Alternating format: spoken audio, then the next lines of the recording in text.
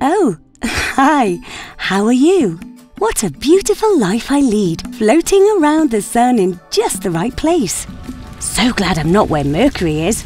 It would be much too hot. And I'm so glad not to be where Mars is. Ooh, it would be far too cold.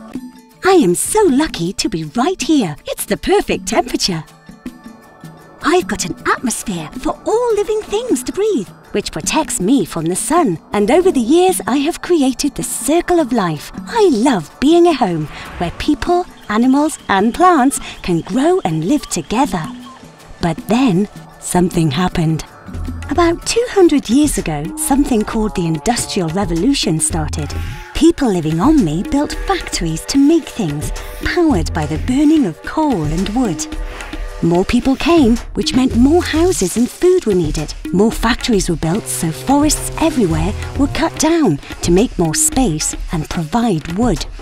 All of this has caused a lot of pollution containing what are known as greenhouse gases escaping into my precious atmosphere. So, why is this bad?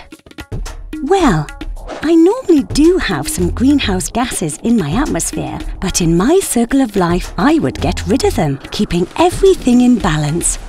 But now, with all these extra greenhouse gases being made, I just can't get rid of it fast enough.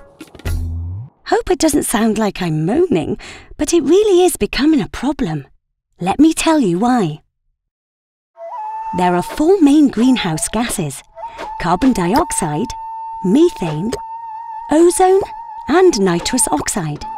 The greenhouse gas that I'm most concerned about is carbon dioxide because people are making a lot of it and it can stay in my atmosphere for hundreds of years. These gases, when mixed with water vapour in my atmosphere, are causing problems. Let me tell you what these problems are.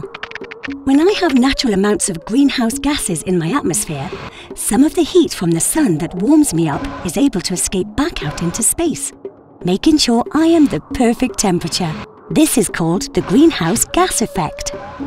But with all these extra greenhouse gases that are being pumped into my atmosphere, I'm afraid that this is no longer what happens.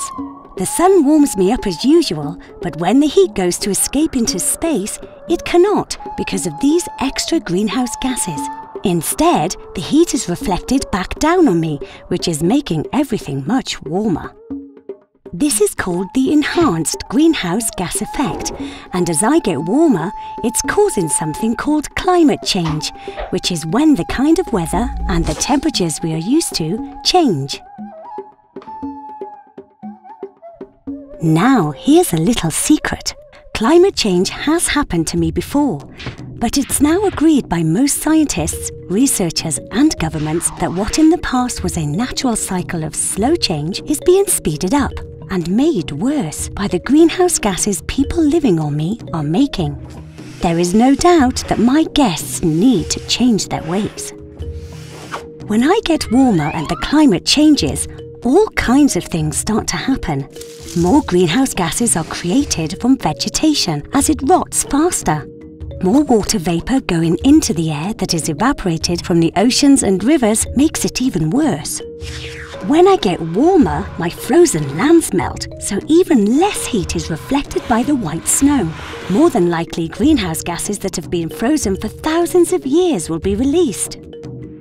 All the ice melting and the heating up of my seas, making them expand, means that my sea levels will rise. Land will get flooded, and I'm going to have very different coastlines from today. Climate change is going to mean that there's going to be much more extreme weather.